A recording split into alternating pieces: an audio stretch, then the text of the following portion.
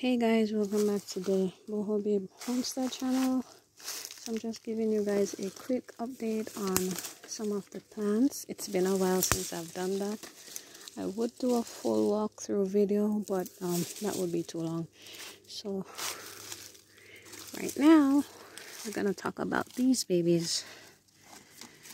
And these are the cocoa trees or plants that I grew from seeds and I have two. I I'm left with I'm just left with two right now. And this is what they look like. I realize that these do well in the shade like cold area because over there did not look like that.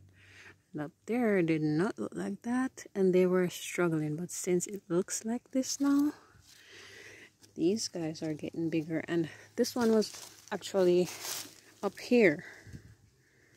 But I cut the top off to encourage the growth of the trunk because I want a sturdy and healthy plant. And this one is coming up right next to it. But yeah this is what they look like now a year. Planted them a year ago about a year these were planted in January 2023. So this is a roughly yeah oh no almost two years. Yeah almost two years. Yeah. The those are the cocoa plants that were grown from seeds Anyway, guys, thank you for watching. Bye.